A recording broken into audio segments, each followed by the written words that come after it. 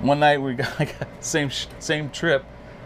I got tired of people coming out getting drunk and going to their cars in the parking lot we were sleeping at, banging on my car because mine said Ed Roth on it. His didn't have any lettering on it at that time. So I told everybody Ed's sleeping in the yellow car. So two o'clock in the morning, hey Ed, what are you doing? Ed goes, Did you tell him where I'm at? I go, Nah, they just figured it out, man.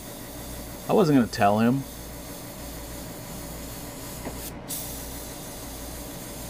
He was the kind of guy I really realized that we were at a show once, and no matter if the guy was 90 years old or a kid was 10 years old, they knew who he was, which was kind of cool.